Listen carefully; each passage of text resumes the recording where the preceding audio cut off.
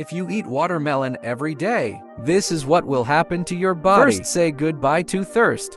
Watermelon contains 90% water. Eating just one slice of watermelon is equivalent to drinking two whole bottles of water. You will also lose weight rapidly by eating watermelon every rich day. fiber content. It will make you feel full without a heavy stomach. This is ideal when you feel hungry all day long.